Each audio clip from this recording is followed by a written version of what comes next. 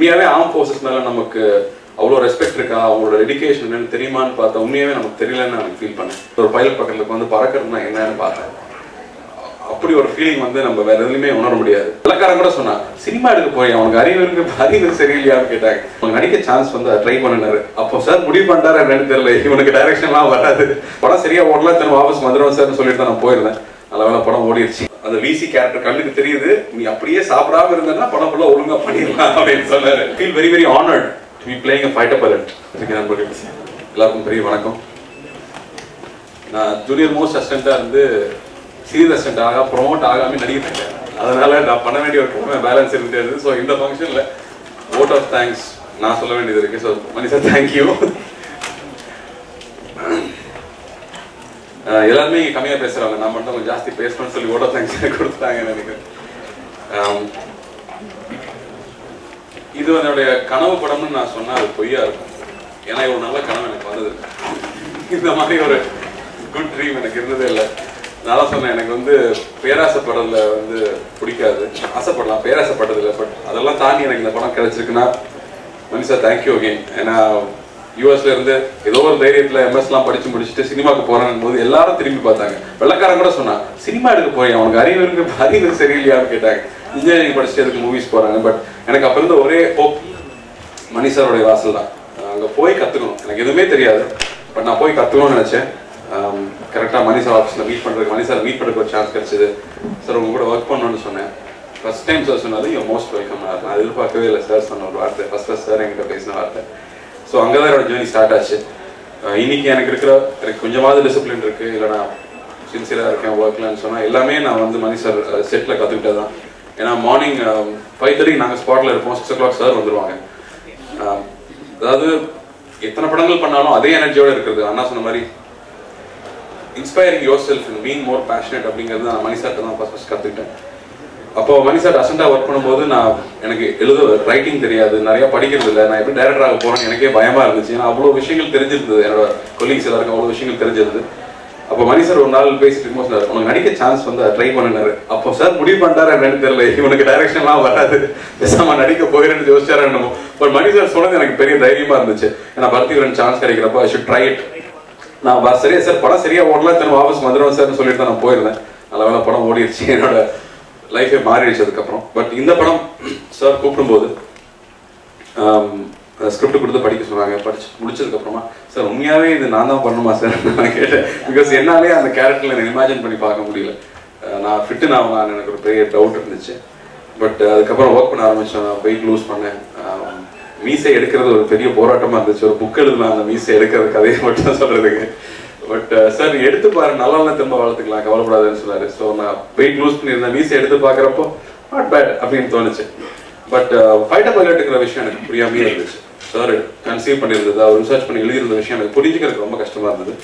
So basic uh, flying lessons sir அனுப்பிச்சி விட்ருந்தாங்க so ஒரு ஃப்ளைட் தான் பக்கத்தில் உட்காந்து ஒரு பைலட் பக்கத்தில் உட்காந்து பறக்கிறதுனா என்னன்னு பார்த்தேன். அப்படி ஒரு ஃபீலிங் வந்து நம்ம வேற எதுலையுமே உணர முடியாது. இங்கே வண்டி ரிப்பேர் ஆயிடுச்சு பஞ்சர் அடிச்சு ஓரமா ரெட்ல நிப்பாட்டிட்டு யாருக்காவது ஃபோன் பண்ணலாம். மேலே பறந்துட்டு இருக்கும்போது சின்ன ரிப்பேர்னா கூட யாருக்கும் ஃபோன்லாம் வர முடியாது.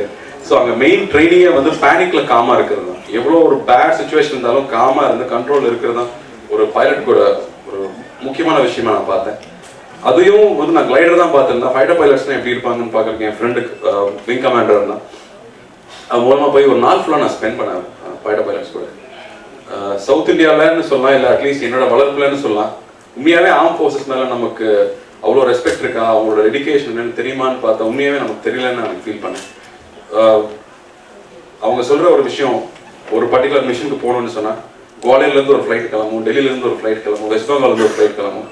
வேற வேற இடத்துல இருந்து கிளம்புற ஃபிளைட் ஒரு பர்டிகுலர் டைம்ல ஒரு பர்டிகுலர் செகண்ட்ல ஒரு பர்டிகுலர் குவாட்ரண்ட்ல மீட் பண்ணணும்னு சொல்லுவாங்க. எல்லா ஃப்ளைட்டும் கரெக்டாக அந்த டைம்ல அங்கே மீட் பண்ணுவாங்க. அதுக்கப்புறம் அங்கேருந்து அவங்க go and do the mission ஒரு இரநூறு கோடி வர்த்து ஒரு மிஷின் அது. ஒரு எட்நூறு மைல் ஸ்பீட்ல போகிற ஒரு மிஷின் அது. அப்போ அதை ஓட்டுறவங்க என்ன ப்ரெசிஷன்ல இருக்கணும்? ஸோ நான் ஃபீல் பண்ணது நம்மளோட ஐஐடி ஐஎம் அப்படிங்கிறது தான் நமக்கு தெரிஞ்ச புத்திசாலிகள்னு சொல்லலாம். ஸோ ஃபைட்டர் பைலட்டுங்கிறவங்க அவங்களுக்கு ஈக்குவலண்டான ஒரு புத்திசாலியாகவும் காமாகவும் ஸ்ட்ராங்காக அதை தான் பண்ண முடியும். இது வார் ஃபில்ம் இல்லை ஒரு லவ் ஸ்டோரி தான். இருந்தாலும் அந்த ஸ்பிரிட்டை கொண்டு வர்றது ஒரு பெரிய சேலஞ்சாகவே இருந்துச்சு நான் நிச்சயமாக சொல்றேன். ஆஹ் மணி சார் அதை அவ்வளோ புரிஞ்சு எழுதியிருந்தாங்க.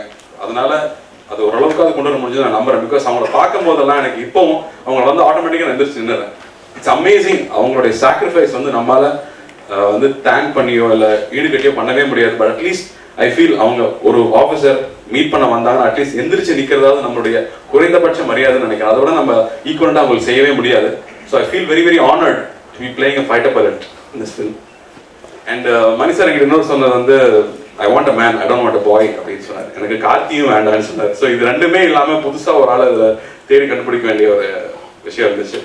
பட் ஸ்டில் ஒவ்வொரு வாட்டியும் நம்ம கதை உட்காரும் எனக்கு கதை சொல்ல ஒரு அசன் டேரக்டர் ஒரு டேரக்டர் சொல்லும்போது சார் மௌனராகம் கார்த்திக் மாதிரி ஒரு ஹீரோ சார்னு ஆரம்பிப்பாங்க.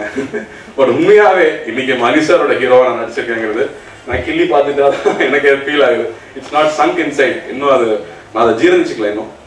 ஏன்னா ஐ ஸ்டில் ஃபீல் லைக் நஷ்ட டேரக்டர் தான். சார் சொல்கிறத கரெக்டாக பண்ணிடணும். முடிஞ்சா அதெல்லாம் கொஞ்சம் பெட்டராக பண்ணணும் அப்படிங்கிறது மட்டுமே தான் மைண்டில் ஓடிட்டே இருக்கும். ஸோ இன்னுமே நான் அசிஸ்டண்டாக தான் நான் ஃபீல் பண்ணுறேன் so Mani sir thank you for giving this opportunity and முக்கியமாக இந்த ரோல் இந்த ரோலில் என்னை கொண்டு வந்தது பிகாஸ் எவ்ரிபடி இஸ் சர்ப்ரைஸ் இந்த ஒரு மேக் ஓவர் வருது ஸோ படம் பார்க்கணும் எல்லாருக்கும் பிடிக்கும் நம்புறேன். இட்ஸ் இன்டென்ஸ் லவ் ஸ்டோரி மறுபடியும் இதில் வந்து ஒரு அலைப்பாயில் எதிர்பார்த்து வராதீங்க இல்லை ஓகே கம்மி எதிர்பார்த்து வராதீங்க. மணி சார் நீங்க எல்லாம் கேட்ட மாதிரி லவ் ஸ்டோரி பண்ணியிருக்காரு. அது மட்டும் நிச்சயமாக சொல்ல முடியும் but it intense emotional love story and for me first time Rahman sir மியூசிக்கில் நான் வந்து நடிச்சிருக்கேன். ரஹ்மான் சார் தேங்க்யூ நான் எப்படி தேங்க் பண்ணுறேன்னு தெரில பட் ஒரு டுவெண்ட்டி ஃபோரோட ஆடியோ ஃபங்க்ஷன் முடி முடிச்சுட்டு ரஹ்மான் சார் ஒரு த்ரீ ஹவர்ஸ் உட்காந்து பேச சான்ஸ் கிடைச்சிது. நான் அசண்டாக இருக்கும்போது ஒரு செகண்ட் தான் அவரை பார்த்துருக்கேன். அப்படி வந்து அப்படி போயிட்டாரு. அதுக்கப்புறம் நான் மீட் பண்ணல. Um, பட் ஒரு த்ரீ ஹவர்ஸ் உட்காந்து பேசிட்டு இருந்தோம். Rahman sir I'm still amazed you are still are very one Chennai boy boy not a man அந்த spirit I just loved it and thank you for taking it across to all over the world எங்க போனாலும் இப்போ சென்னை பசங்க தெரியுது. So thank you and இந்த படத்தோட music we felt very nostalgic நான் first first கேட்கும்போது சாரோட சொன்னேன் சார் பழைய ராமன் சார் ஆரம்பத்தில் இருந்த அந்த ஸ்டைல் அவ்வளோ சிம்பிளான சோல் ஸ்டோரிக் மியூசிக் வந்து பயங்கரமாக இருக்கு. இந்த பாட்டு கேட்கும்போது அதுக்கு நான் உதட்ட அசைச்சு நடிக்கிறதுக்கு சான்ஸ் கிடைச்சது. ரொம்ப ரொம்ப நன்றி.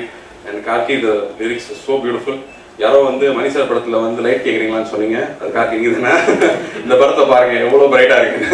Ravi sir is the magic in this film என்ன கூட அழகான ஒரு ஹீரோவை காமிச்சிருக்காரு நான் பார்த்துக்கேன் சம் சீன்ஸ் நானே என்னை பார்த்து இது நான் தானா அப்படின்னு நானே ஃபீல் பண்ற மாதிரி இருந்துச்சு.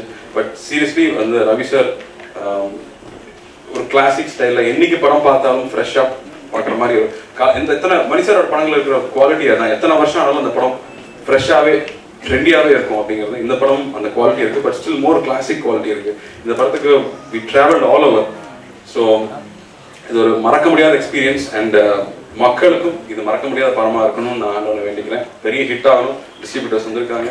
எல்லாரும் ரொம்ப ரொம்ப ஹாப்பியாக இருக்கணும். So thank you first I'll begin with distributors thank you என்னோட சார்பில் Mani sir Rama sir thank பண்ணிக்கிறேன். And uh, Sharmishta Roy art art director um, இந்த படத்தில் இருக்கிற எஸ்தட்டிக்ஸ் வந்து அவ்வளோ பியூட்டிஃபுல்லாக இருக்கும். அவங்க ஒரு ஆர்ட் டைரக்டருடைய பொண்ணு பட் அவங்களுடைய ஒர்க் ஸோ எக்ஸலண்ட் இந்த படத்தில் சில இடங்கள்லாம் நம்ம செட்டுன்னு சொல்லவே முடியாது. ஸோ தேங்க் தம் நான் எக்ஸ்ட்ரீம் கண்டிஷன்ஸ் எல்லாரும் ஒர்க் பண்ணோம். Um, ஒரு டூ டிகிரிஸில் ஆரம்பிச்சு மைனஸ் டென் டிகிரிஸ் வரைக்கும் தான் அந்த படம் ஃபுல்லாக ஷூட் பண்ணோம். அதோட வாமா எங்களுக்கு இடமே கிடையாது. Um, என்னோட யூனிட்ல இருக்கிற அத்தனை பேருக்கும் கேஃபர்ஸ்ல இருந்து லைட்மென்ல இருந்து எல்லாருக்கும் நன்றி தெரிவிச்சுக்கிறேன். அசிஸ்டன்ட் டைரக்டர்ஸ் um, அது என்னோட டீம் மெம்பர்ஸ் அவங்க எல்லாருக்கும் மறுபடியும் நன்றி.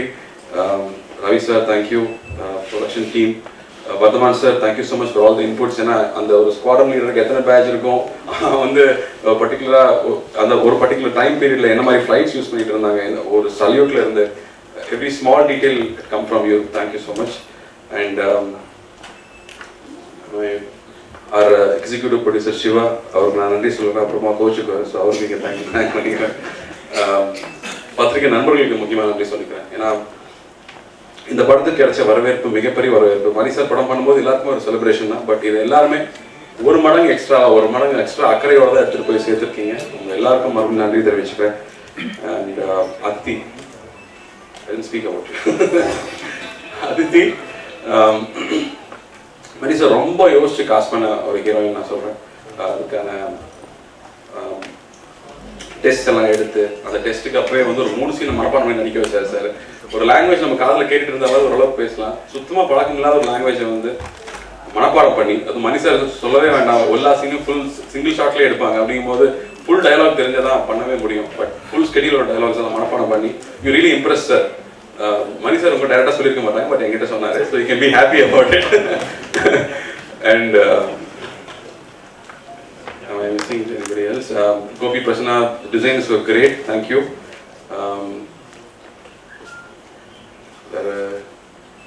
இரு நீங்க நானி சார் இன்னைக்கு வரல. அவருக்கு ஒரு ஃபங்க்ஷன்ஸ்க்கே வர்றதில்லை. நானி சார் வந்து எப்படி சொல்றது? மணி சார் ஒரு தம்பின்னு சொல்லலாம்னு நினைக்கிறேன். தப்பு அது கம்மியா இருக்காது. பிகாஸ் அவ்வளோ அக்கறை எடுத்துக்கிட்டு ஒரு படம் வந்து கதை கரெக்டாக வந்து சேரணும். அது கமர்ஷியலாக இருக்கணும். அது போய் சேரணும். மணி சார் கமர்ஷியல் யோசிக்க மாட்டாரு பட் அவர் நானி சார் ரொம்ப ஒர்க் பண்றாரு சாங் கமர்ஷியலாக இருக்கா? விஷுவல் கமர்ஷியலாக இருக்கா? ஃபைட் வந்து எல்லாருக்கும் பிடிக்கிற மாதிரி இருக்குமா? அப்படின்னு யோசிச்சு யோசிச்சு யோசிச்சு சின்ன சின்ன விஷயம் வரைக்கும் ஒர்க் பண்ணுறது ஒரு ப்ரோமோல இருந்து அவருடைய சிரமம் வந்து மறக்கவே முடியாது. எனக்கு பெரிய சப்போர்ட் நானி சார் அடிக்கடி இப்போ நானி சார்ட்ட கூப்பிட்டு கூப்பிட்டு நான் பேசிக்குவேன். அவர் எனக்கு ஃபோன் பண்ணி சொன்னார் ஃபர்ஸ்ட் ஷெடியூல் முடிச்சுட்டு. அந்த விசி கேரக்டர் கண்ணுக்கு தெரியுது நீ அப்படியே சாப்பிடாம இருந்தேன்னா படம் ஃபுல்லாக ஒழுங்காக பண்ணிடலாம் அப்படின்னு சொன்னார். So Nani sir thank you Nani sir and it's been a pleasure இந்த படம் வந்து என்னால் எப்பவுமே மறக்க முடியாத ஒரு படமாக இருக்கும். And I want thank everybody இங்கே இருக்கிற எல்லாருக்கும். அதே மாதிரி Sathyam theatre functions and uh, Sony Music. Uh, thank you so much. This has been a big platform for this, uh, and Mani sir படங்கள் mostly you've been associated with them, so thank you Sony Music. And அண்ணாக்கும் நான் thank பண்ணிக்கிறேன் ஏன்னா எனக்கு காலைல ஷூட்டிங்லாம் தள்ளி வச்சுட்டு he just came for the function because I wanted him to be here. Because இந்த starting பாயிண்ட்லேருந்து திரும்ப கல்மினேட் ஆகி ஒரு ஜீரோ ஒரு ஃபுல் சர்க்கிள் வந்ததுனால I wanted him to be here.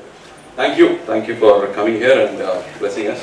And uh, I pray this பெரிய வசூல் சாதனை படைக்கணும்னு நான் ஆண்டவரை வேண்டிக்கிறேன். தேங்க்யூ